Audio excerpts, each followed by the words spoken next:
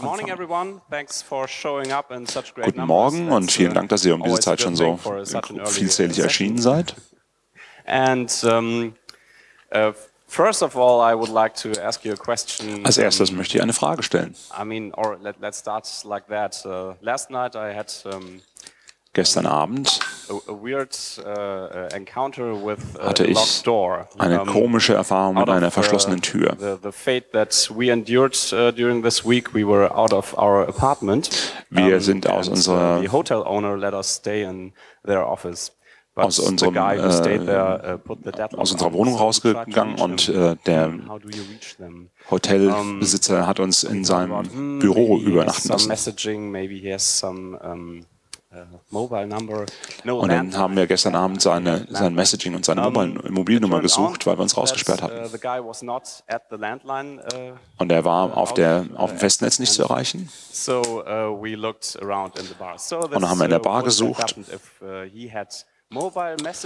Und dann sind wir in der Bar rumgelaufen, haben ihn dort gesucht. Und mit Mobile Messaging wäre das nicht passiert.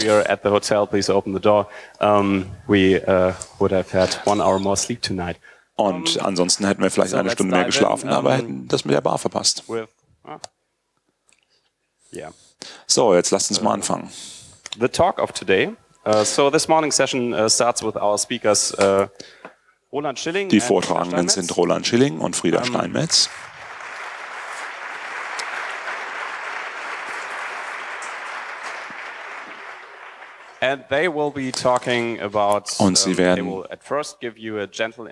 into mobile messaging. Eine einfache Einführung in 10. mobile Uh, mobiles Chatten geben. uh, or Und wenn sie das gemacht haben, a deep analysis werden sie eine- uh, eine tiefe Analyse des. Trema-Protokolls geben. Bitte einmal Applaus. Thank you, Thilo. Danke, Thilo. Roland, Ich bin Roland, das ist messaging. Und wie Thilo uns schon angekündigt hat, reden wir über mobiles Messaging. Das wird eine ganz breite Einführung. Das Feld ist sehr komplex und wir werden das versuchen, hier massentauglich zu machen. Und jetzt werden wir versuchen, das, was die Leute jeden Tag zu benutzen, auch ein bisschen transparenter zu machen. Um das zu machen, fangen wir ganz niedrig an. Die Sicherheits- und Krypto-Nerds in diesem Raum werden feststellen, dass sie eine Menge schon wissen. Die müssen einfach ein bisschen sich gedulden. Der erste Teil der ist speziell dafür da, die Mechanismen auch in den Grundlagen unseren Neuankömmlingen hier zu vermitteln. Was wir heute hier versuchen, sind drei Sachen. Wir werden äh, Erwartungen an äh, Privatsphäre erklären. Dann werden wir Kommunikationsszenarien beschreiben, die man davon ableiten kann. Wir suchen nach einer Analogie, wie man das auf mobiles Messaging äh, abbilden kann. Und dann suchen wir nach technischen Lösungen, die das möglich machen. Secure and give us the same privacy guarantees that uh, one-to-one talk would. Und dann suchen wir nach etwas, was uns die gleiche äh, Privatsphäre geben würde wie eine implementation, 1 zu and 1 it's no secret Unterhaltung. Und insbesondere werden wir Trema anschauen. So let's just dive right in. Jetzt fangen wir direkt mal an. You are at a party. Du bist bei einer Party. Ein um, Haus voller Leute. Und dann kommt jemand auf dich zu und sagt, er möchte sich mit dir persönlich unterhalten, privat unterhalten. Was- was ist die Erwartung? Wir suchen ein, ein separates Zimmer, vielleicht äh, das Schlafzimmer von, vom, vom Gastgeber. Und dann schließen wir die Tür und dann haben wir das. Gefühl, dass wir also uns privat unterhalten können. Und wir schauen mal, was das heißen wird. First of all, the most, the Als erstes sind wir- intuitive one is what we call confidentiality. Das erste ist, that äh, ist in Confidentiality, also Privatheit. Und wir sind alleine in dem Raum und wir sind uns sicher, dass das, was ich und der Kommunikationspartner sagen, nur von der anderen Person jeweils gehört werden kann. Und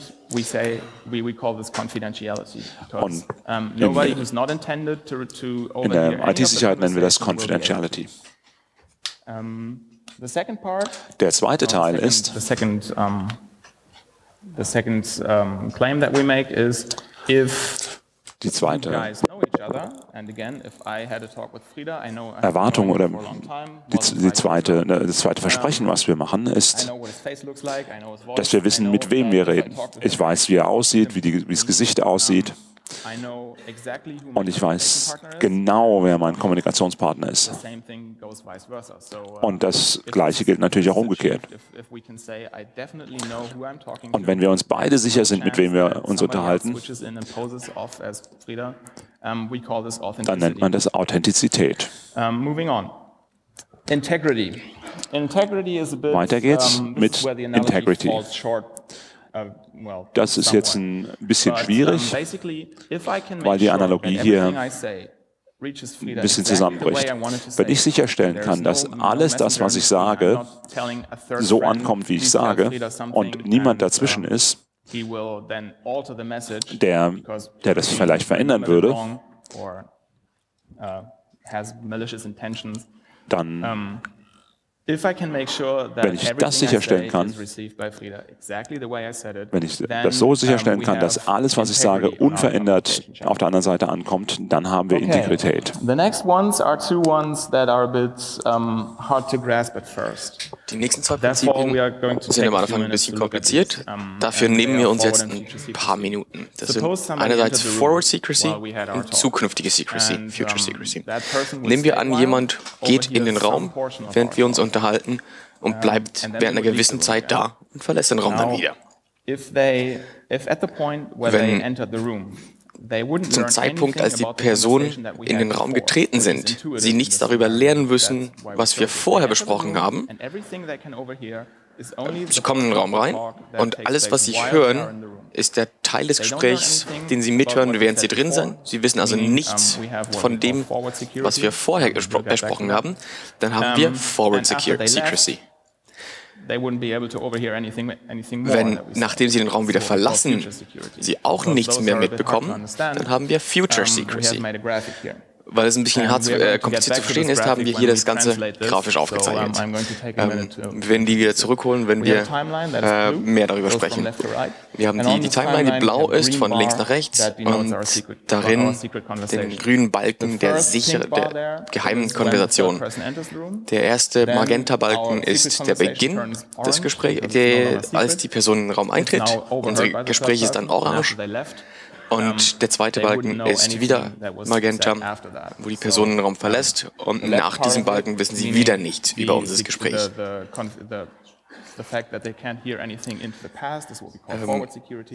Dass dieser Zuhörer nichts in der Vergangenheit erfahren kann, nennen wir Forward Secrecy. Und dass er nichts in die Zukunft hören kann, nennen wir Future Secrecy. Das letzte Prinzip, über das wir sprechen werden, ist Deniability, Verneinbarkeit. Weil wir nur zwei Personen in diesem Raum sind, gibt es keine Zeugen. Wir haben Deniability, weil nach diesem Talk, wenn uns Leute fragen, was was wir besprochen haben, kann, kann ich immer auf Frieda zeigen, ich sagte X. Und Frieda kann immer sagen, nein, sagte er nicht. Und es wäre Wort gegen Wort. Wenn unser Szenario das erlaubt, dann haben wir Deniability. Weil jeder von uns kann immer verneinen, irgendwas gesagt zu haben oder behaupten, es gesagt zu haben. Und nun schauen wir uns Messaging an.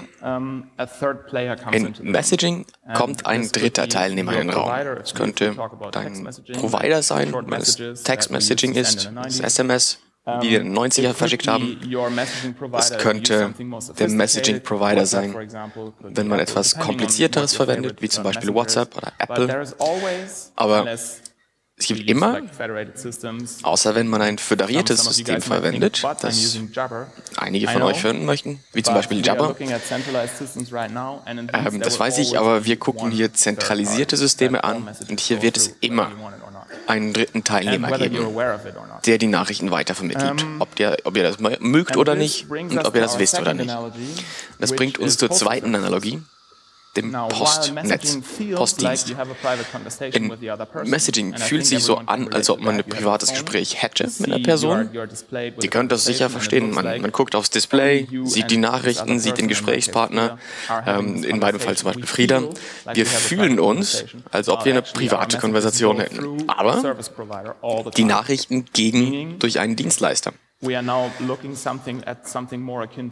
schauen also etwas an, das näher am Postdienst ist. Wir bereiten eine Nachricht vor, versenden sie, der Provider nimmt die Nachricht, bringt sie zum Empfänger, der sie dann lesen kann. Das ist, das betrifft jede Nachricht, die wir hin und her senden.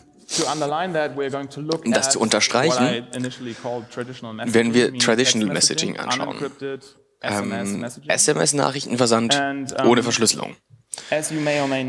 Wie ihr vielleicht wisst, diese Nachrichten werden auch über den Provider versandt. Sogar über mehrere Provider. Wenn ich zum Beispiel bei Vodafone bin und Frieda bei äh, Verizon, ähm, sende ich meine Nachricht zu Vodafone, die sie zu Verizon weiterleiten, die sie dann an Frieda weiterleiten. Weil beide unsere Provider alle Nachrichten kennen und die nicht verschlüsselt sind, hätten wir keine Vertraulichkeit. Sie könnten die Nachrichten auch austauschen. Ähm, sowas hat passiert passiert. Wir haben also auch keine Integrität. Ich weiß nicht, ob die Nachricht, die Frieda erhält, die ist, die ich gesendet habe. Wir haben noch keine Authentizität der Nachricht, weil die Telefonnummern, die verwendet werden, sehr schwach sind für Authentisierung. Sie sind von den Providern verwaltet. Sie sind, ja, es gibt dabei keine fixe Zuordnung zu unseren Telefonen oder SIM-Karten. Ähm, die Nachrichten können weitergesendet werden. Wir wissen also nie, ob die Nachrichten an den vorgesehenen Empfänger gesendet wurden keine Authentizität. Nun, Forward und Future Secrecy treffen hier nicht mal zu, weil wir nicht mal aktuelle äh, Vertraulichkeit haben. Und wir haben vielleicht ein, eine gewisse Deniability, aber das ist dann eine philosophische Diskussion, uh, die sich darauf bezieht, ähm, uh, ob der Provider behaupten kann, dass er eine Nachricht von mir erhalten hat oder er sie selber geschrieben haben könnte. Wir können das zusammenfassen, dass ähm, SMS-Nachrichtenversand ähm, diese Privatsphäre-Erwartungen, die wir jetzt aufgezeigt haben, sehr schlecht erfüllt. Machen wir weiter. Wenn wir unsere Postversandsanalogie angucken, sind unsere Nachrichten ungefähr wie Postkarten. Sie sind offen, die Provider können sie einsehen, können sie verändern, wie jetzt beschrieben, wie sie das mit einer Postkarte können. Uh, sie sehen den Empfänger, sie sehen den Sender, sie sehen den Text, können alles davon verändern, wie bei einer Postkarte. Und was wir jetzt machen wollen, ist diese Postkarten einpacken und sie mehr wie Briefe zu machen, wenn wir uns vorstellen, dass die Post Briefe nicht öffnet. das müssen wir in dieser Analogie halt vorstellen. Um das zu tun zu können, uh, geben wir euch die, die kürzeste Beschreibung zur Verschlüsselung das ihr je, ihr je erhalten werdet. Wir beginnen mit symmetrischer Verschlüsselung. Verschlüsselung, wenn ihr das noch nicht kennt, ist die Übersetzung von lesbarem Text zu Text, der aussieht, als ob er zufällig wäre, aber wieder umgekehrt werden kann und gelesen werden kann, wenn man den richtigen Schlüssel hat. Um beim einfachen Beispiel zu bleiben, schaut dieses Kästchen an, auf das Crypto geschrieben ist. Wir stellen uns das einfach vor. Das nimmt zwei Inputs, Plaintext, den offenen Text und einen Key, den Schlüssel, ähm, und produziert den Ciphertext. Der Ciphertext kann nicht von zufälligem Text unterschieden werden, aber der Empfänger kann mit demselben Schlüssel aus diesem Ciphertext durch dieselbe Operation wieder den Plaintext herstellen. Das nennen wir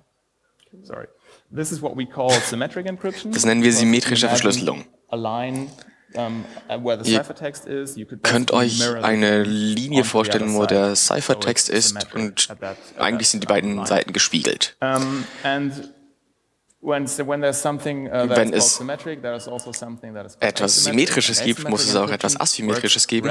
Und die asymmetrische Verschlüsselung funktioniert ähnlich, aber es gibt jetzt zwei Schlüssel. Wir haben einen gelben und einen blauen Schlüssel. Das ist ein Key-Pair, ein Schlüsselpaar.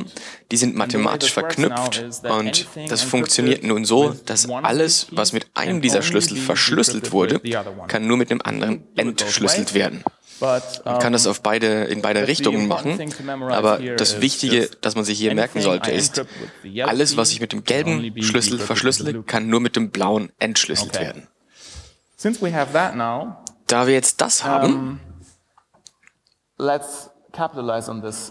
bauen wir darauf auf und verwenden weiter das Szenario.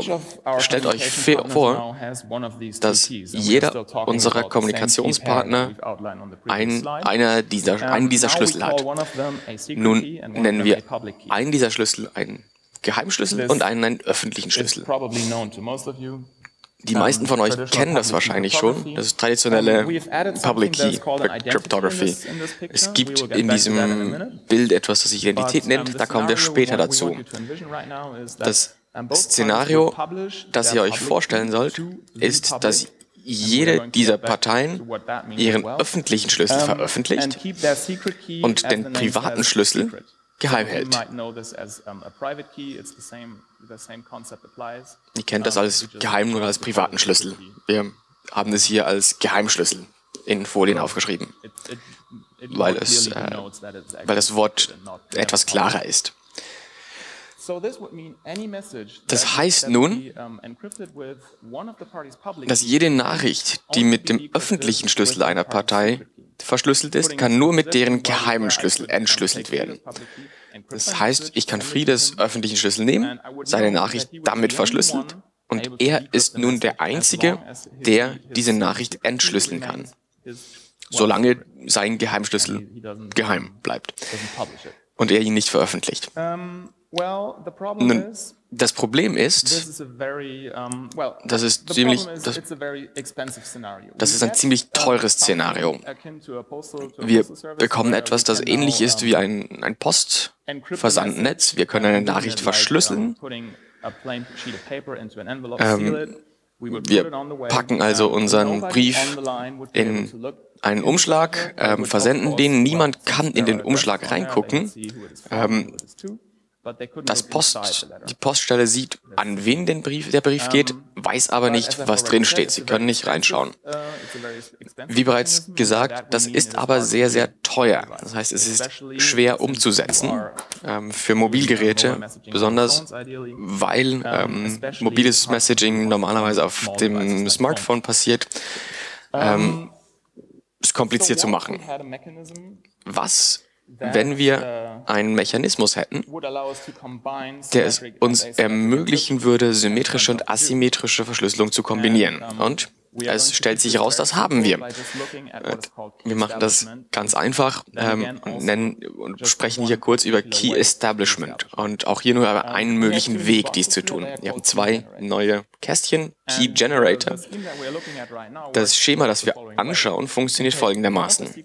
Man nimmt einen der geheimen Schlüssel und einen anderen öffentlichen Schlüssel packt diese in den Key Generator und merkt euch, erinnert euch, diese Keys sind mathematisch verlinkt, gehören zusammen.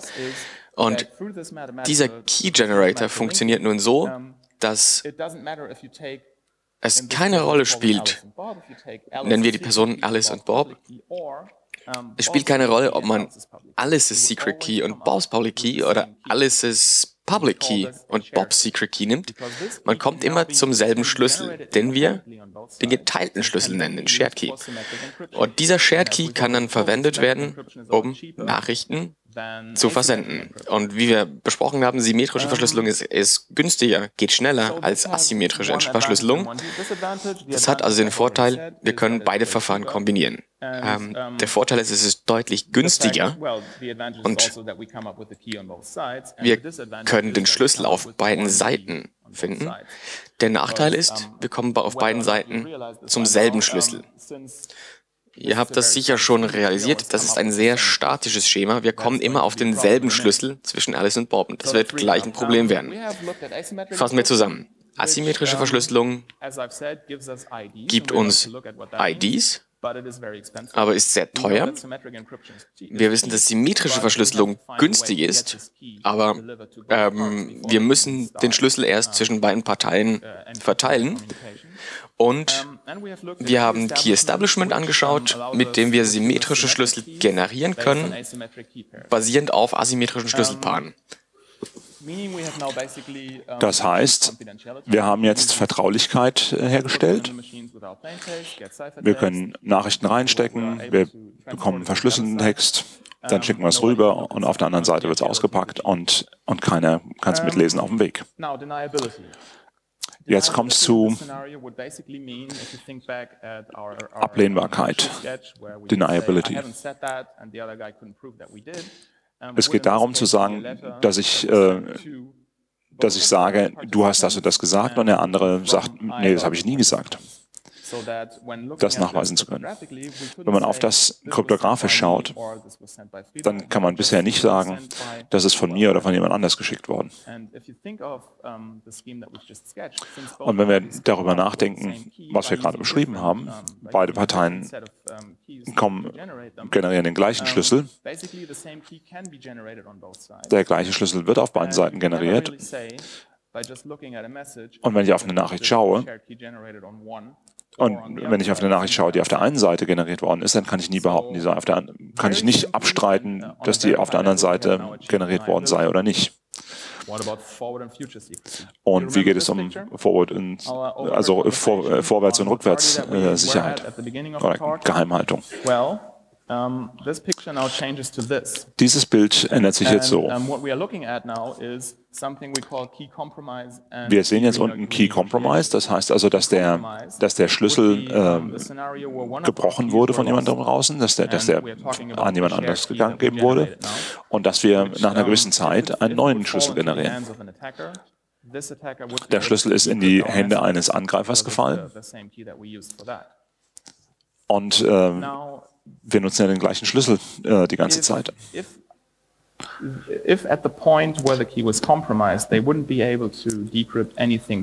Wenn die jetzt an dem Zeitpunkt, wo der Schlüssel in dritte Hände gefallen ist, nichts auspacken könnten, was vorher gewesen sei, und wenn die an dem Punkt, wo wir einen neuen Schlüssel aushandeln, dann auch mit ihm mehr weiter könnten, dann hätten wir Rückwärtssicherheit und, oder Rückwärtsvertraulichkeit äh, und Vorwärtsvertraulichkeit. Und das sollt ihr euch jetzt mal im Hinterkopf behalten, wenn wir uns Trema im Detail anschauen.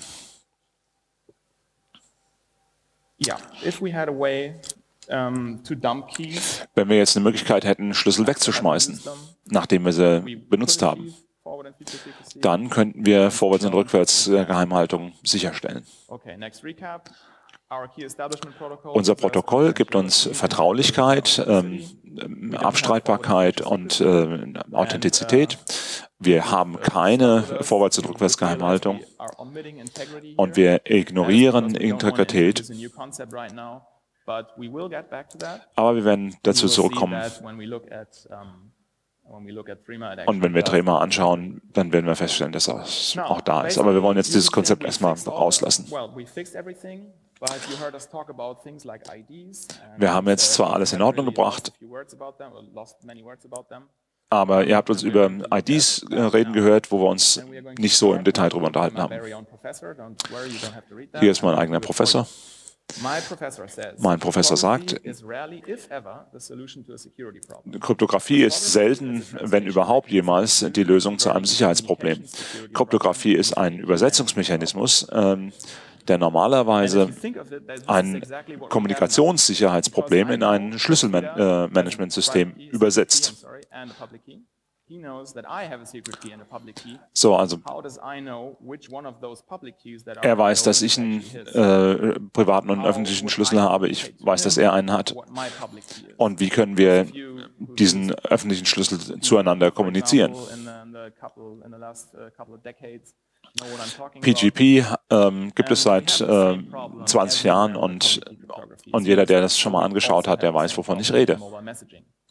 Das gleiche Problem äh, gibt es im äh, Mobile Messaging. Diese zentrale Instanz, dieser Messaging-Server, die können wir die können wir anfragen. Und ich kann dem äh, zentralen Server meine Identität sagen. Und der Server, der hat eine, äh, ein bisschen Informationen, mich zu, ja, mich zu benennen und, und meinen Schlüssel. Und jetzt ist halt die Frage, ob wir dem Messaging-Server trauen. Uh, Aber wir haben eine Möglichkeit, unsere Public Keys zu anderen Leuten zu kommunizieren. Was werden wir als Identitäten verwenden?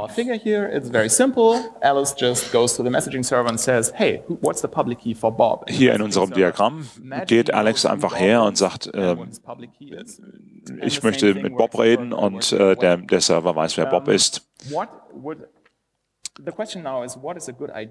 Die Frage ist, was eine gute ID darstellt. Wir könnten Telefonnummern verwenden, E-Mail-Adressen verwenden oder wir könnten uns was anderes ausdenken. Und das etwas anderes, das wird äh, der interessante Teil sein. Die Telefonnummer kann Benutzer identifizieren. und ich, verleihe, äh, ich verlasse mich ja sowieso schon auf den Provider, dass das funktioniert mit den Telefonnummern, dass die richtige Person auf der anderen Seite ist. Die Telefonnummer ist äh, persönliche Information und das würde ich nicht wirklich äh, in der Öffentlichkeit sehen wollen. Ich persönlich würde das nicht unbedingt nutzen wollen, weil ich es nicht unbedingt ändern kann, wenn es äh, kompromittiert wird.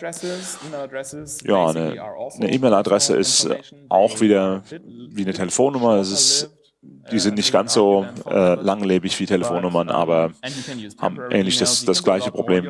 Man kann temporäre E-Mail-Adressen verwenden. Aber idealerweise wollen wir was anderes.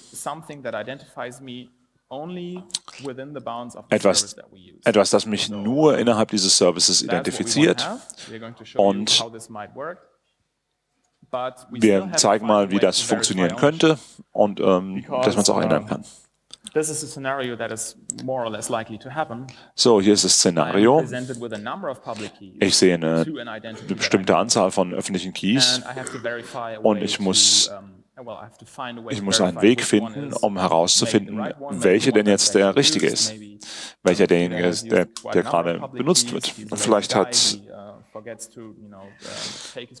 Vielleicht hat er eine, eine, ganze Anzahl von so öffentlichen Schlüsseln und vielleicht hat er ein paar neue gemacht und äh, vielleicht hat er vergessen, ein paar mitzunehmen und ich, ich weiß nicht genau, welcher der aktuelle ist.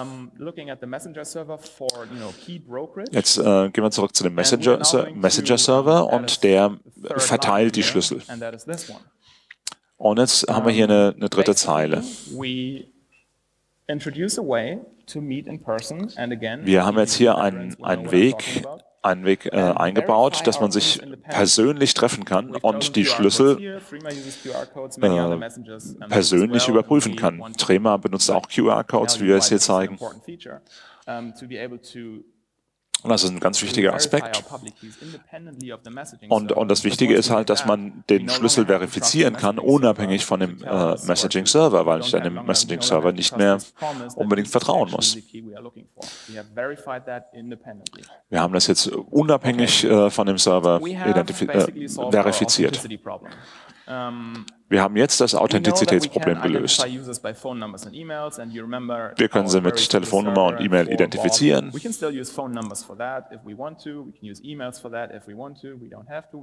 Wir müssen das nicht tun. Wir können die IDs anonym verwenden. Aber wir haben eine Möglichkeit, das unabhängig zu bestätigen. Ein Problem ist, dass Benutzer ihre IDs ändern, dann müssen wir halt nochmal neu verifizieren. Und jetzt schauen wir uns mal die Metadaten an. Der Angreifer kann jetzt nicht mehr in die Nachrichten reinschauen, aber der kann sehen, wer, von, wer mit wem redet und wie groß die Nachricht ist und was da für, eine, für ein Zeitstempel drauf ist. Oh, jetzt wird es hier ein bisschen spät. Ich muss mal ein bisschen auf, äh, schneller werden. Also wir wollen jetzt verstecken, von wem das ist, an wen das ist.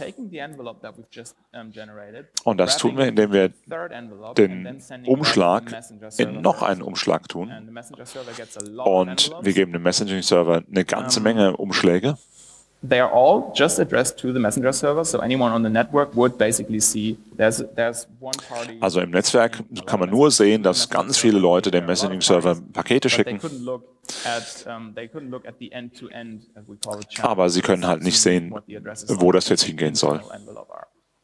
Der Messaging Server, der kann den äußeren Umschlag aufmachen und kann dort hineinschauen und kann sehen, dass das für Alice ist, kann es in noch einen Umschlag reinstecken.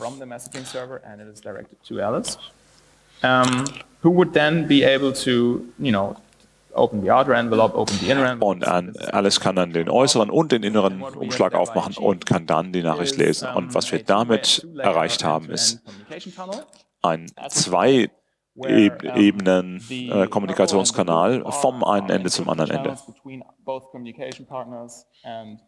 Und das, äh, das Blaue ist von dem ersten zum Messaging-Server und innen drin der braune Kanal ist äh, zwischen den beiden Partnern, der auch dem zentralen Server verborgen ist. Der Messaging-Server, der weiß immer noch, wer mit wem redet und äh, und äh, die Uhrzeit und die Größe der Nachricht. Also die Größe, die können wir ähm, erstmal adressieren, indem wir Padding machen. Padding ist äh, extra, extra Material in die Nachricht, äh, an die Nachricht dranfügen, bevor wir das verschlüsseln, sodass alle verschlüsselten Nachrichten groß sind. Es sollte zufällige Information sein, es sollte niemals die gleiche Länge haben. Aber damit können wir die eigentliche Größe von dem Ding verstecken. Das war jetzt eine einfache An äh, Einführung in mobiles Messaging. Und jetzt gehen wir zum nächsten. Dazu will ich nur ein paar Sachen sagen, bevor wir das tun. Wir haben keine Beziehung zu Threema. Wir sind auch nicht hier, um euch Threema zu empfehlen. Wir haben keine formale Analyse gemacht. Wir machen keine Garantien und wir möchten nicht zitiert werden, dass wir sagen, nutzt es oder nutzt es nicht. Was wir machen möchten, ist mehr Leute auf die Mechanismen hinweisen, die verwendet werden. Und wir haben einen beliebigen Nachrichtenprovider ausgewählt. Ähm, wir haben uns für Threema entschieden, weil dieser Messenger die Möglichkeit anbietet, dedizierte Schlüssel zu verwenden. Und weil es Closed Source ist, fanden wir es interessant, ähm, in diese App reinzuschauen und das öffentlich zu machen, was dort passiert. Wir sind nicht die Ersten, die das gemacht haben. Wir sind nicht die Ersten, äh, die Einzigen, die das gemacht haben. Aber uns ist es wichtig, euch darauf hinzuweisen, wie dass diese App funktioniert. Und damit gebe ich an Frieda weiter. Uh,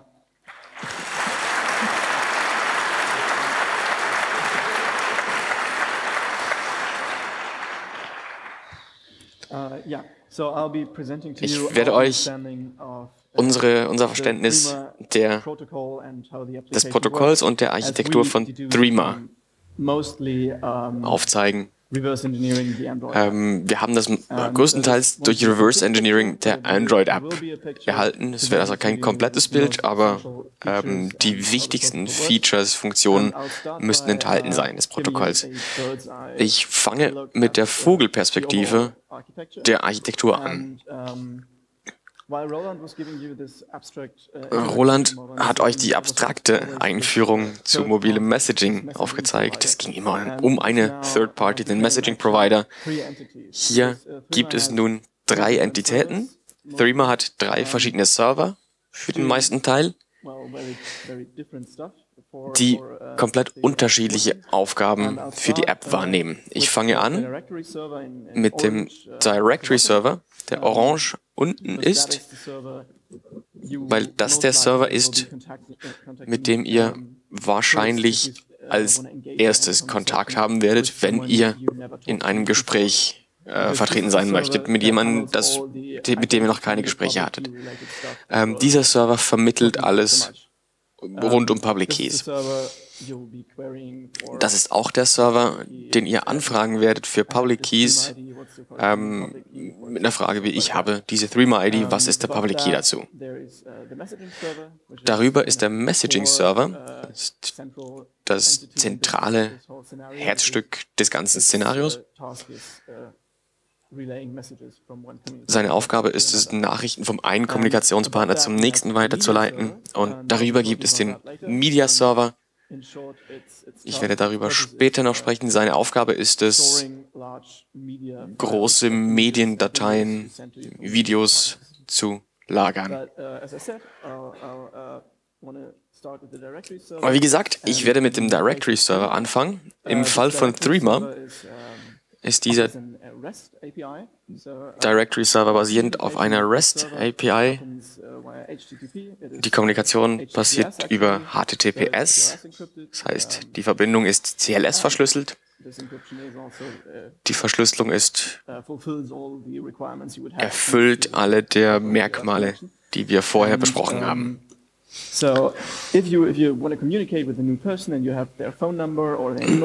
Wenn man also mit einer neuen Person kommunizieren möchte und deren Threema-ID oder Telefonnummer hat, dann fragt die App den Directory Server und fragt nach der nach dem Public Key zu dieser Nummer oder dieser ID. Und hoffentlich ist die Antwort ja, ich kenne diese Person, hier ist der Public Key dieser Person. Wie Roland schon beschrieben hat, ähm, wir haben uns dafür entschieden, Threema zu analysieren für die, die Möglichkeit, ähm, beliebige IDs zu verwenden und für das System, ähm, weil Fingerprints in Person über QR-Codes verifiziert werden können. Das ist etwas, das viele andere Messenger nicht haben. Und da werde ich kurz drüber sprechen. Weil, wenn man einfach den Directory-Server fragt, was ist die Threema-ID, ich möchte den Public Key. Die Applikation wird dann sagen, ja, ich habe eine Antwort vom Directory-Server, aber ich habe sehr gering, geringes Vertrauen, dass du wirklich weißt, wer diese Person ist hinter diesem Public Key. Deshalb wird dieser Kontakt mit einem roten Punkt markiert werden. Wenn man eine Telefonnummer oder eine Mailadresse hat und fragt, was ist der passende Threema Public Key, dann wird der Server antworten, ja, wir müssen immer noch dem Directory Server vertrauen, aber ich habe ein gewisses Vertrauen, dass die Person mit diesem Public Key möglicherweise die Person sein könnte, mit der du sprechen möchtest. Ähm, wir vertrauen immer noch dem Directory Server und der Kontakt wird nun mit zwei orangen Punkten markiert. Und die dritte Stufe, wenn man jemanden in Person getroffen hat und den QR-Code, den Public Key oder den Threema Key dieser Person über den QR-Code gescannt hat, dann wird dieser Kontakt mit drei grünen Punkten markiert. Und in diesem Fall sagt die App, ich bin zu 100% sicher, dass das die richtige Person ist, und ich den richtigen Key für diese Person habe. Wenn wir nun ein Gespräch starten möchten, haben wir zu diesem Zeitpunkt also alle nötigen Daten, um eine Nachricht zu verschlüsseln und ein Gespräch zu starten. Die Frage bleibt aber, wie, wie, wie tun wir das, diese Verschlüsselung? Im Fall von Threema, Threema benutzt eine Library namens Salt, von Daniel Bernstein. Äh, er nennt die Library Salt, aber sie ist NaCl, Natriumchlorid, ähm, abgekürzt. Also wenn man irgendwo NaCl sieht, dann ist das ausgesprochen Salt. Uh, Diese Bibliothek ist spezifisch dazu entwickelt worden, um Nachrichten zu verschlüsseln. und ähm, uh, soll sehr einfach in der Anwendung sein. und uns dabei alle uh, nötigen Features geben, die wir für die Verschlüsselung von Nachrichten brauchen. Ähm, was hier verwendet wird, sind, ist die, die Authenticate, die authentizierte Verschlüsselung von Salt. Sie gibt uns Integrität, Authentizität und Vertraulichkeit. Ein, hier ist ein kurzer Überblick, wie wir diese Bibliothek in Threema verwendet wird. Ähm, Im grauen Kästchen sind die, die Bibliotheksfunktionen. Wir brauchen also nur den Public Key des Empfängers und die Nachricht, um eine Nachricht zu verschlüsseln. Die Library benötigt auch ein N1, eine Nonce. Das heißt, wir müssen etwas Zufälliges generieren, um das der Nachricht mitzugeben, um diese verschlüsseln zu können. Das ist eine Maßnahme, dass wenn wir dieselbe Nachricht zweimal verschlüsseln würden, wir nicht denselben Ciphertext erhalten. Ähm, am Ende bekommen wir aus dieser Library den Ciphertext, die verschlüsselte Nachricht, ein Mac, und da bleibe ich kurz bei einer ganz einfachen Definition, es ist etwas, das zeigt, eine Checksumme, ähm, die bestätigt, dass die Nachricht nicht verändert wurde. Also jemand kann mit dem Ciphertext und der Mac nachvollziehen, dass diese Nachricht integer ist. Wenn wir diese Nachricht nun in verschlüsselter Form übermitteln wollen, dann müssen wir die Nonce mitsenden. Die ist nicht geheim, wird aber zur Entschlüsselung weiter benötigt. So funktioniert die Verschlüsselung in Threema. Wie ihr euch aber von Rolands Einführung erinnern könnt, dieses Schema bietet keine äh, vorausschauende und rückblickende Sicherheit. Wir können hier vorausschauende und rückblickende Sicherheit hinzufügen. Und das macht man normalerweise mit einem Handshake. Ein, ein Handshake ist ein System, bei dem man alte Schlüssel wegwirft und sich auf neue Schlüssel einigt.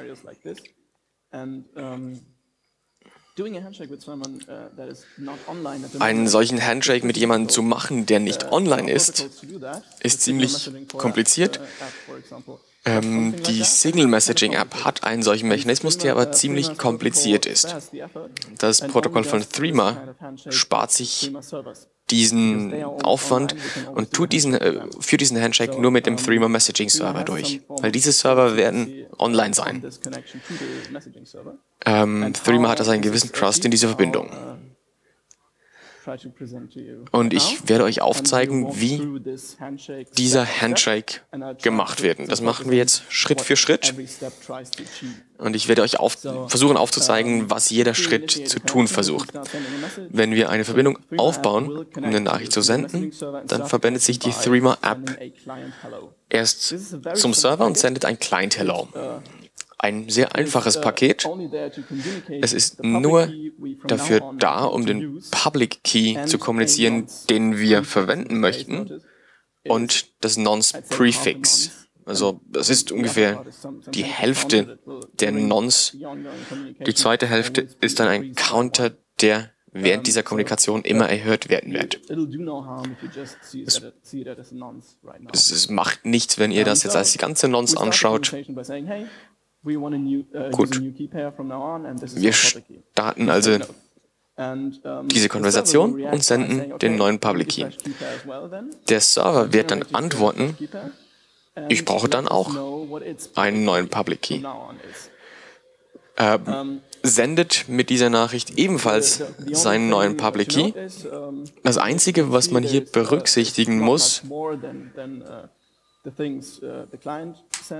es ist, es ist nicht viel mehr, das mitgesendet wird, als der Client das bereits getan hat.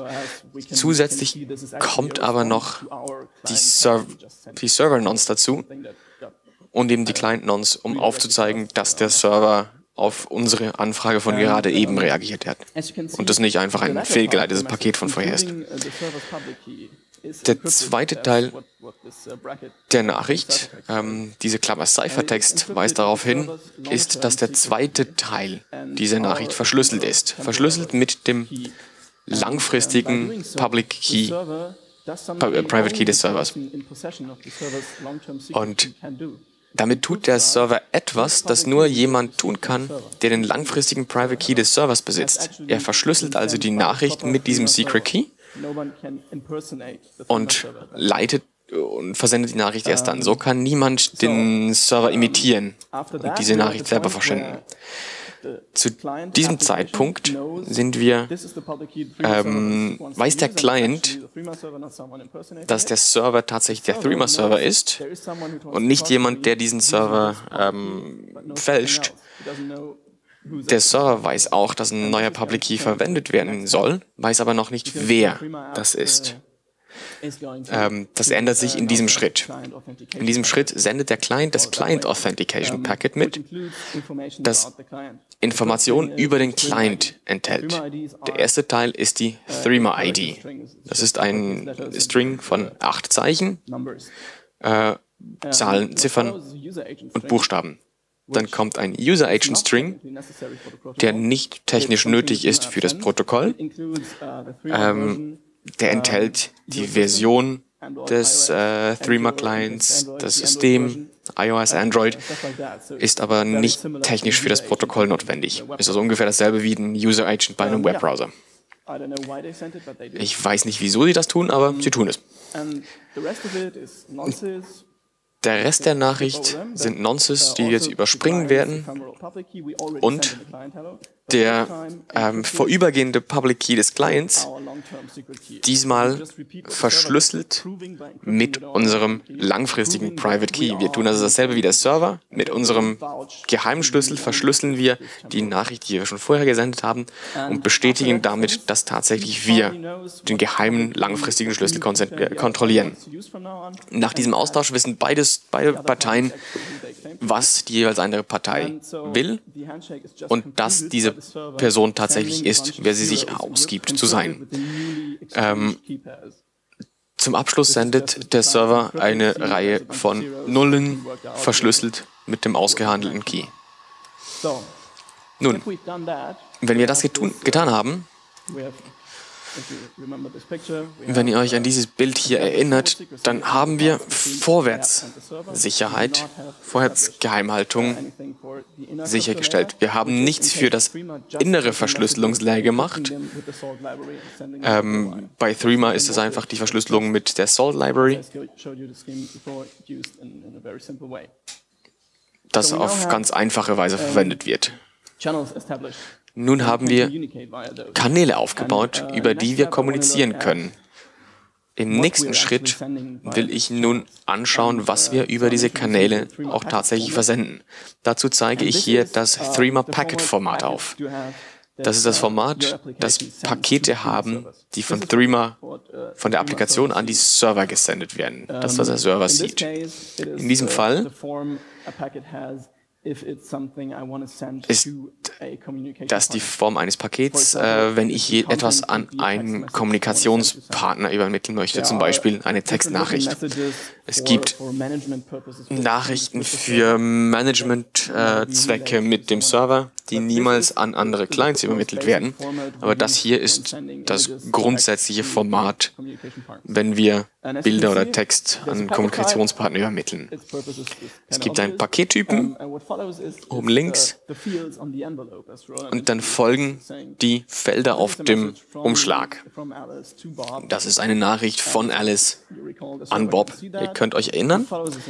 Dann kommt eine Message-ID, eine zufällige ID die erstellt wird, wenn die Nachricht versendet wird. Es folgt ein Zeitstempel, damit der Server weiß, ob eine Nachricht erst kürzlich ausgestellt wurde oder lange ähm, stecken geblieben ist. Dann folgt etwas Threema-spezifisches. Threema hat öffentliche ähm, Nicknames, die man als Alias für seinen Accountnamen festlegen kann. wenn man dies tut, dann wird dieser Nickname mit jeder Nachricht übermittelt. Also wenn man diesen Nickname ändert, dann wird das auf dem Gerät eines Kommunikationspartners auch erst dann wieder gespielt, wenn er eine Nachricht von euch erhalten hat. Dann folgt eine Nonce die mit dem Ciphertext verwendet wurde. Und schließlich kommt der Ciphertext, der innere Umschlag mit der Nachricht. Nun schauen wir uns an, was in diesem Umschlag ist, wie diese Nachrichten ausschauen, die wir unseren Kommunikationspartner übermitteln. Das Einfachste, was wir tun können, ist eine Textnachricht. Wir sehen äh, oben in Grau immer noch die, die Felder des äußeren Umschlags und unten ist etwas ganz Einfaches. Wir haben einen, einen Nachrichtentyp, ein Byte, das angibt, dass es Cypher eine Textnachricht ist und dann folgt Text. Nichts weiter, einfach uh, Text. Und danach folgt Padding. Wie ihr sehen könnt, ist das im innersten Verschlüsselungslayer. Der Threema-Server weiß also nicht, wie groß die versandten Nachrichten sind. Das ist sehr praktisch, also für Typing-Notifications, die an ähm, Gesprächspartner versendet werden. So versteckt Threema diese Notifications vor dem eigenen Server, weil die Länge sich immer ändert. Ein anderer Message-Type ich würde sagen, da einer der einfachen Nachrichtentypen, die oft verwendet werden, ist eine Bildnachricht. Wenn ich jemanden ein Bild senden möchte, die sehen ungefähr komisch hm, aus auf den ersten Blick. Sie haben auch einen Nachrichtentyp, gefolgt von einer Blob-ID. Was das ist, werde ich gleich noch erklären. Gefolgt von einer Größe, die Größe des Bildes wird übertragen. Und dann folgt ein Key. Und dann das Padding. Die Frage ist nun, was ist die Blob-ID und was ist der Schlüssel, der übermittelt wird. Und hier kommt der Medienserver ins Spiel. Der Medienserver ist, ich, ich zeige euch, was äh, passiert, wenn ihr eine, eine Bildnachricht versendet. Die App nimmt das Bild, das versendet werden soll, erstellt einen zufälligen Schlüssel, verschlüsselt das Bild mit diesem Schlüssel und sendet es zum Medienserver. Der Medienserver speichert das Bild unter einer Blob-ID und antwortet mit dieser Blob-ID. Danach sendet der Client die Image-Nachricht, die ich gerade gezeigt habe, an den Kommunikationsserver. Dieser gibt es an den Empfänger weiter. Der Empfänger sieht die Blob-ID und sieht den Schlüssel, fragt dann beim Medienserver an, hi, Medienserver, hast du unter dieser Blob-ID etwas gespeichert? Der Medienserver antwortet, ja, habe ich. Hier ist die, der verschlüsselte Inhalt. Der Kommunikationspartner erhält zu diesem Zeitpunkt die, das verschlüsselte Bild, entschlüsselt es mit dem Schlüssel, den er in der Nachricht erhalten hat und sieht das Bild.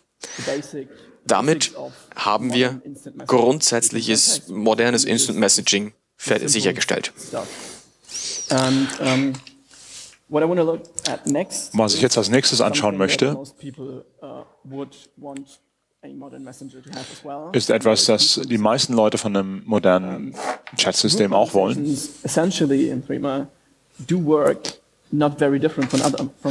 Die äh, Unterhaltungen in Trema funktionieren nicht so viel anders als bei anderen Messengern.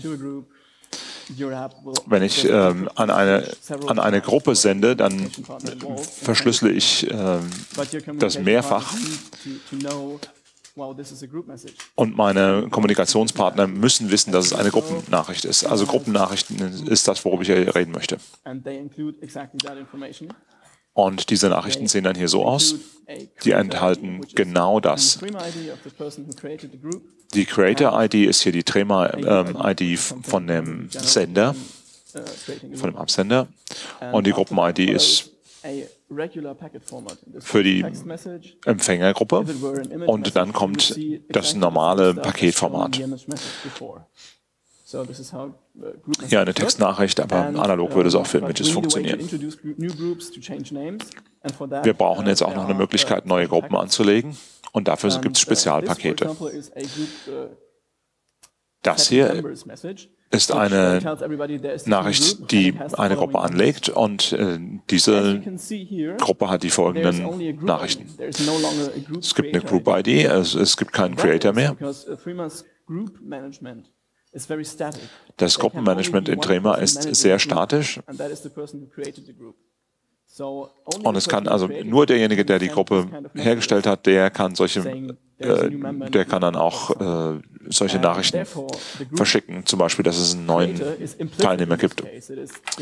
Der Creator ist hier implizit, das ist nämlich der Sender. Das ist ein bisschen nervig, weil man keine Nachricht, äh, weil man keine Gruppe anlegen kann, wo jeder ähm, Teilnehmer zufügen kann.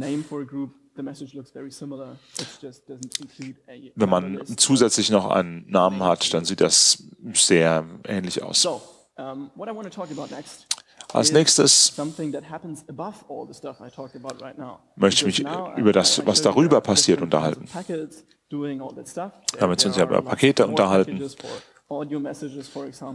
Es gibt noch ein paar mehr Pakettypen, wie zum Beispiel für Audio.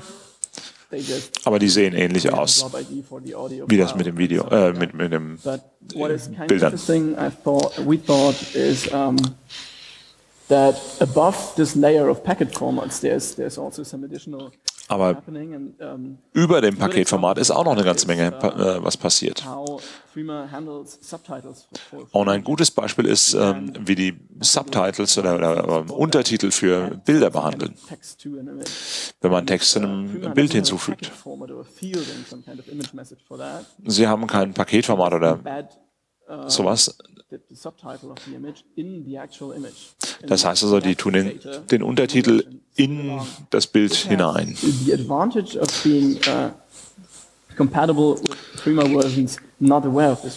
Das hat den Vorteil, dass das mit Trema-Versionen, die sowas nicht können, kompatibel ist, also rückwärtskompatibel. Also es ist ein Feature, was nicht im Paketformat also, auftaucht. Und, und Quotes äh, sehen relativ ähnlich aus. Und in der Anwendung sieht es besonders aus.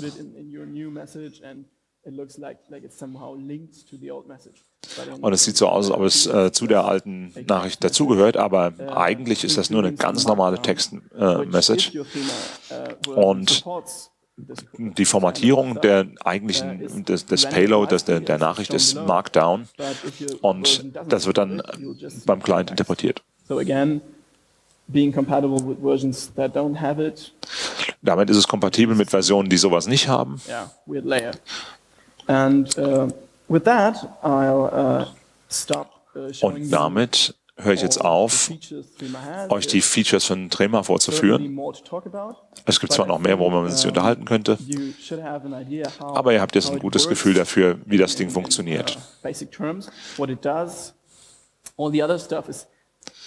Alles, was es tut, solltet ihr jetzt wissen und und, und ich habe euch gezeigt, wie es funktioniert. Und jetzt gebe ich wieder an Roland ab. Und Roland wird die Ergebnisse unseres Reverse Engineering vorführen.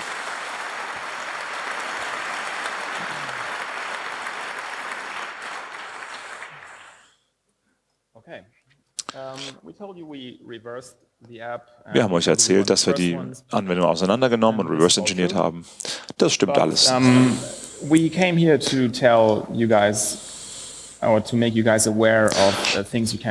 Aber wir sind hierher gekommen, um euch auch ein bisschen darüber aufzuklären, was ihr von Messaging-Anwendungen erwarten könnt. Und wir haben euch ein bisschen Hintergrund und, äh, und Terminologie gegeben, um eure eigene Entscheidung zu treffen oder eine, eure eigene Einschätzung zu treffen von Messengern und was die Versprechen sind im Verhältnis zu euren Erwartungen. Da wir das Ding auseinandergenommen haben, weil wir das Ding auseinandergenommen haben, haben wir es in eine Bibliothek gepackt. Wir haben es in eine Bibliothek gepackt und wir wissen nicht, ob ihr den, mit dem Begriff akademischer Code vertraut seid. Wir haben das immer wieder mal ein bisschen dran gearbeitet. Wir haben es vor zwei Jahren gearbeitet und haben es wieder ein bisschen rumliegen lassen.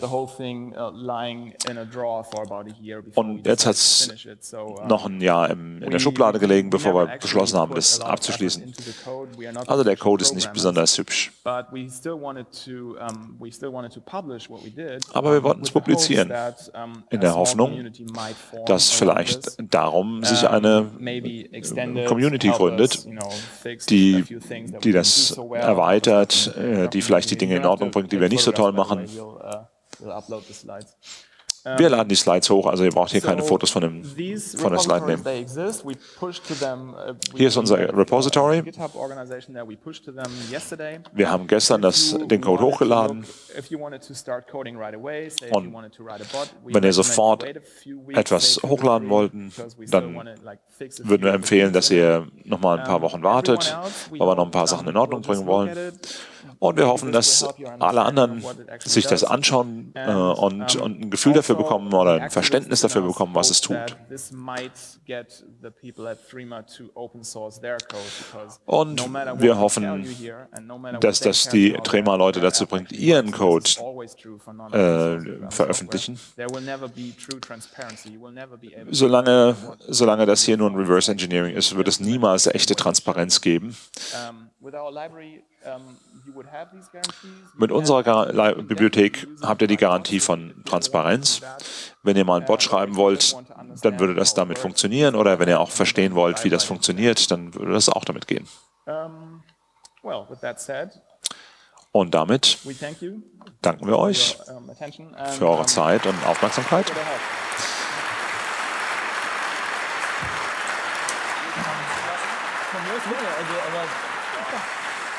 Du. Okay. Thank you very much, Roland Frieder. Um, Vielen Dank, Roland Frieder. Wir haben nur Zeit für eine Frage. Wer hat eine sehr, sehr wichtige Frage? Der Signal Angel winkt. Ich wähle die beste Frage von Alien. Wäre es möglich, Captions zu verwenden, um bösartige EXIF-Daten in Bilder einzufügen? Antwort, was ist bösartige, was sind bösartige EXIF-Daten? Was wir nicht getan haben, ist im Detail Sicherheitsprobleme der App anzuschauen. Ich würde sagen, das gehört in dieses Gebiet. Ähm, es gibt auch eine Library, die das Anzeigen von GIFs steuern. Äh, wir hätten anschauen können, ob das exploitable ist, aber haben das nicht getan. Wir haben das Protokoll angeschaut, ähm, aber keine weiteren Details. Eine weitere Frage. Wenn ein User, der nicht in einer Gruppe ist, eine Group Update Nachricht versendet, was passiert dann? Antwort. Ähm, Threema Gruppen-IDs sind nicht global einzigartig. Die Gruppen-ID hängt immer auch von der ID des Gruppenerstellers ab. Wenn also eine andere Person eine Update-Nachricht für eine Gruppe versenden würde, dann würde Threema sich auf deren Threema-ID beziehen und die Gruppe gar nicht erst finden. Es, man kann also so keine Gruppe übernehmen. Okay, very well.